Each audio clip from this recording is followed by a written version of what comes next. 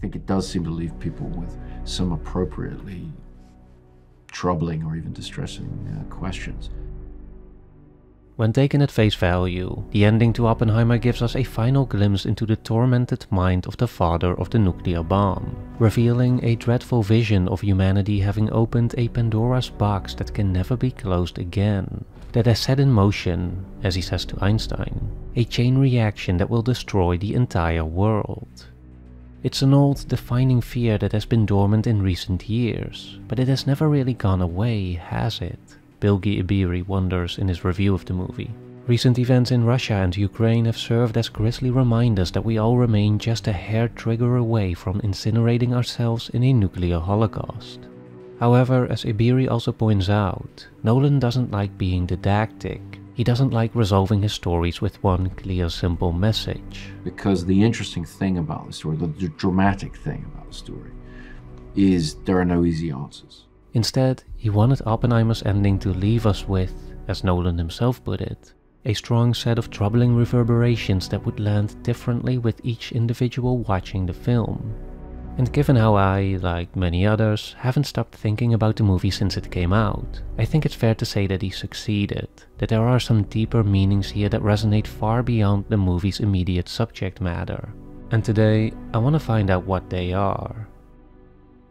This video is brought to you by Mubi. Go to mubi.com slash like stories of old for an extended free trial. I think the first thing you have to understand to get at the heart of Oppenheimer is that for the first time in years, Nolan has made a genuine tragedy. Unlike Tenet, Dunkirk, Interstellar, Inception and the Dark Knight movies, there's no heroic triumph here, only a tragic downfall. In this sense, we are better off comparing Oppenheimer to Nolan's earlier works, such as The Prestige, Insomnia, and most importantly, Memento. I'm not a killer. I'm just someone who wanted to make things right.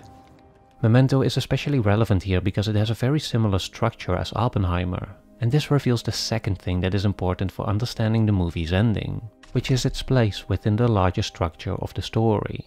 In Memento, we were presented with two timelines, one that starts at the very end of the story and that plays out in reverse chronological order, and one that unfolds regularly from the earliest point in the story. These timelines continuously intercut and inform each other until they ultimately converge in the middle, which to us is the end of the movie. Oppenheimer essentially pulls the same trick, Although its narrative structure is arguably even more complicated than Memento's, if we strip it down to its absolute essence, there are also two converging timelines here. One that follows Oppenheimer's life up until the Trinity test in 1945, and one that begins with Strauss's Senate confirmation hearing in 1959 and that sort of looks backwards to cover everything that happens after Oppenheimer creates the bomb. The point of convergence for both of these stories is a conversation between Oppenheimer and Einstein that took place in 1947, which is hinted at throughout the movie but which we don't fully get to see until the very end. And the reason this structural context matters is because, going back to Memento, it's in this climax, or chronologically speaking, in this middle section of the story, that we find a key revelation that not only ties the two storylines together, but that also gives us a pivotal insight into our main character. Do I lie to myself to be happy? Yes, I will. And this is exactly what the ending to Oppenheimer offers us from a narrative point of view. It gives us one last insight into Oppenheimer's mind that helps us to understand both the true outcome of the first timeline, of everything that happened before the Trinity test, as well as the motivation that has been the true driving force of everything that came after. Well, we all know what happened later. So, what exactly do we learn here? Well, again, there's the most obvious layer in which Oppenheimer expresses his belief that he has set in motion a chain reaction that will eventually destroy the entire world, which does seem like the logical outcome of his reckoning with the actual consequences of having made the atomic bomb and which also serves as a valid character motivation for his actions in the chronologically second half of the story in which he seems to almost willingly submit himself to his Promethean torture in a somewhat ambiguous plea for some kind of redemption or reconciliation. But I think we can dig a little deeper than this. Because besides giving us character motivation, I believe the real reason why this ending is so impactful is because it also captures a fundamental turning point for Oppenheimer's entire worldview. And I think it's this revelation that truly contains the troubling reverberations that Nolan spoke of.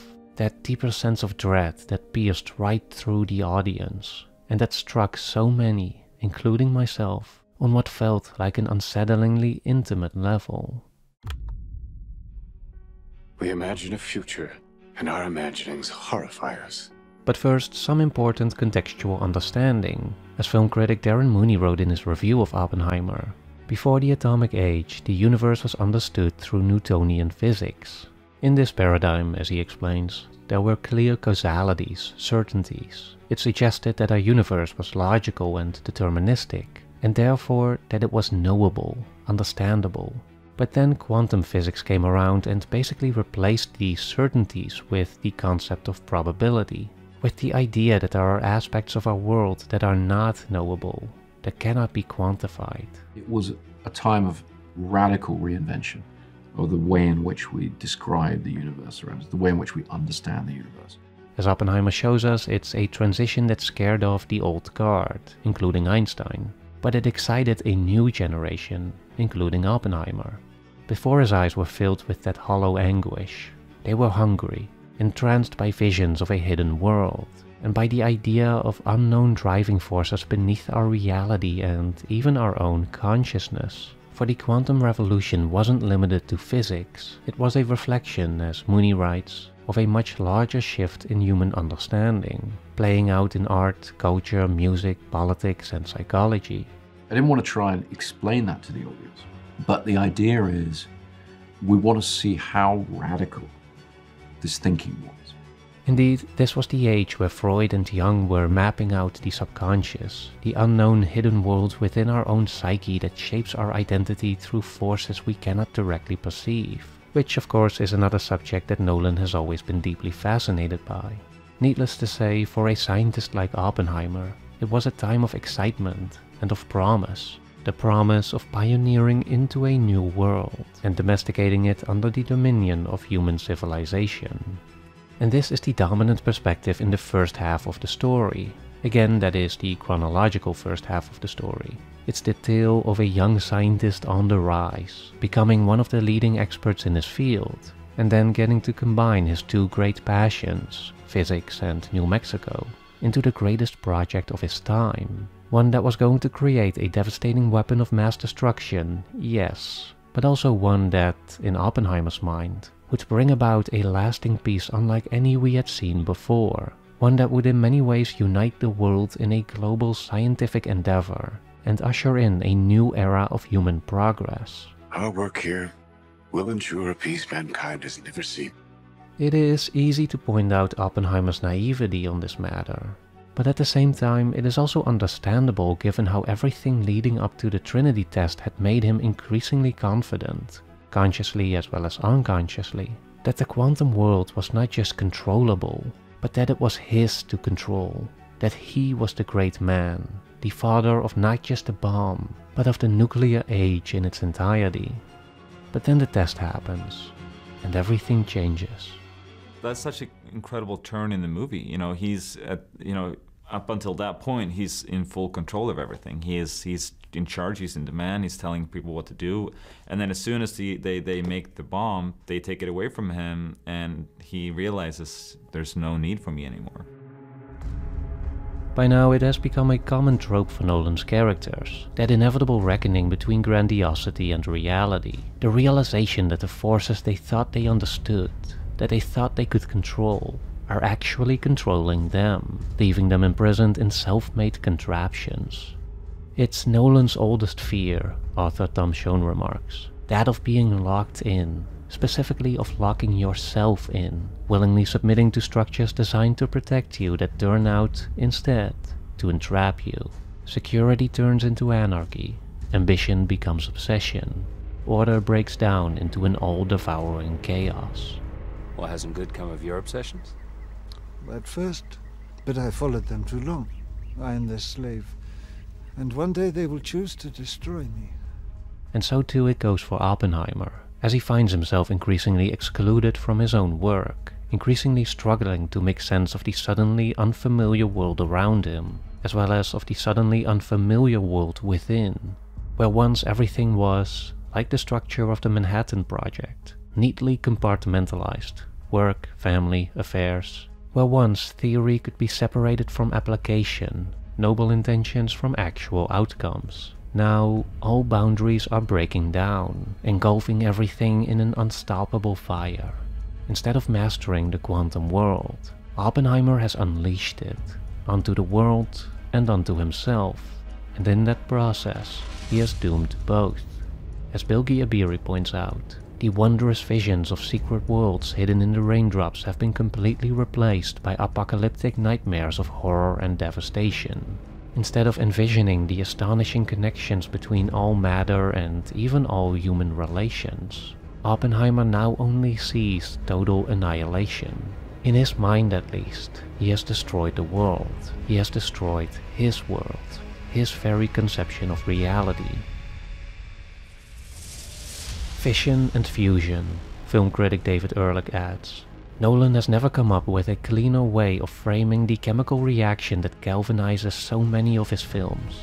Indeed, Nolan's frequent employment of non-linear storytelling doesn't merely bend time or play around with its causal direction. It often serves to break it entirely.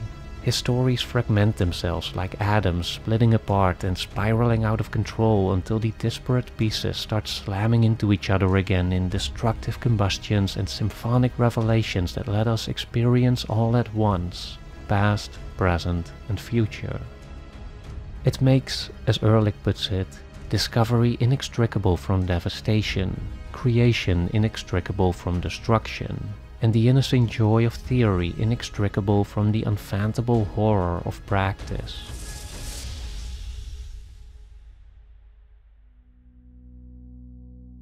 This, perhaps, is the true source of Oppenheimer's ruin. He shattered his reality, and in doing so, he cast himself adrift, unstuck in time, without any hope of reclaiming the blissful certainties he once enjoyed for as he recounts his days of youthful exuberance, the year is actually 1954, and he already knows exactly where his ambition will lead him.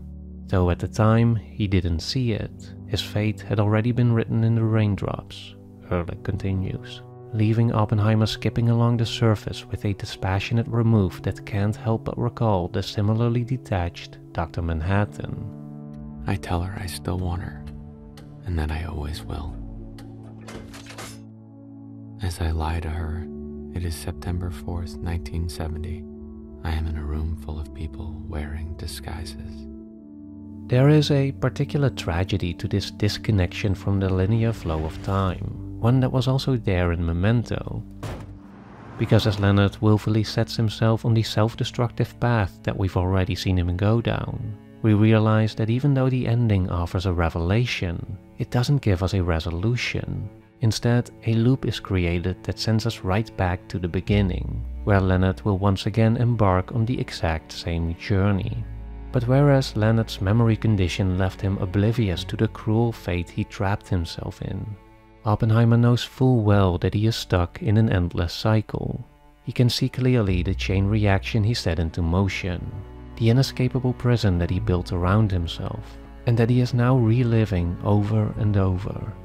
Every time he will rebuild his world, experience his youth, his passion, his hope, and every time he will burn it all down again and despair in the ashes. Prometheus chained to a rock and tortured for eternity.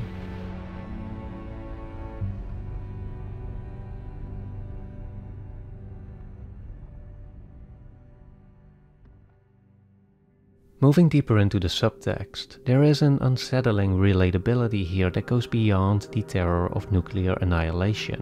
Remember, Nolan wanted to invoke troubling reverberations that would land differently with each individual watching the film, meaning that while Oppenheimer certainly isn't a direct allegory for other issues, it does have symbolical applicability that allowed its ending to pierce right into some broader existential fears that have been haunting our collective psyche. Because again, the quantum revolution in physics was but one part of a greater transition in our modern society that, as we have now come to realize, have opened us up to new dangers and vulnerabilities.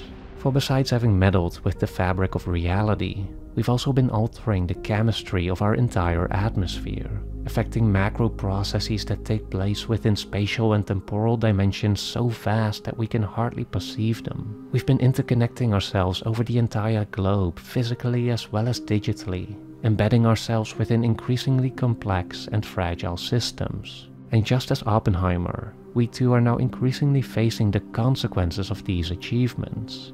I think it is fair to say that everyone, in some way or another, is aware of this, that everyone has felt the uncertainty of what all these developments really mean, the dread of where they might be taking us, and the frustration of trying to figure out our own relation to them. Because are we not, at the end of the day, allowing all this to happen?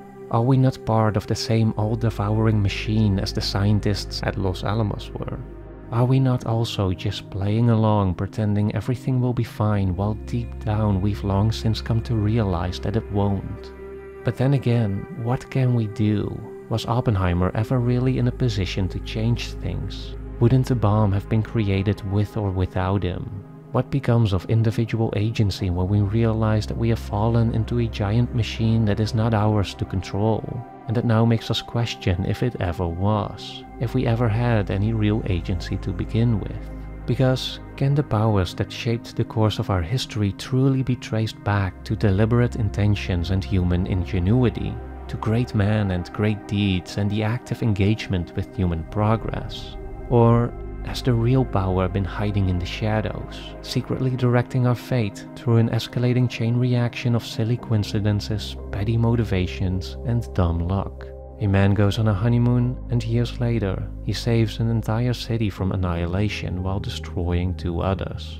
Another man sparks a decade long vendetta, all based on a simple misinterpretation. Do we actively write our history, or does it just happen to us?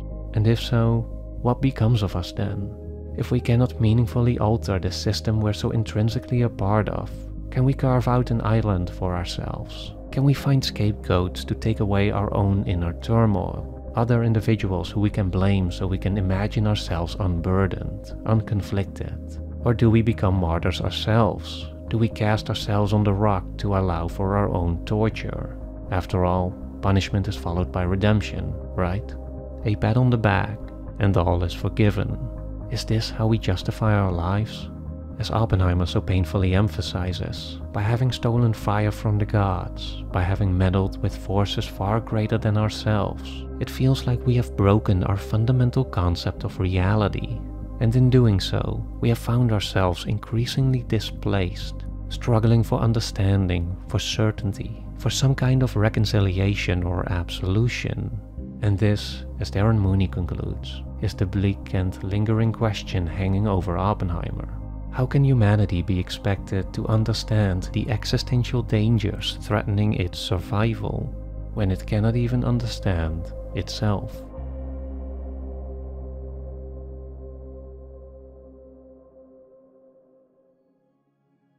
Nolan is far from the only filmmaker to have dabbled with themes of apocalyptic dread and existential despair.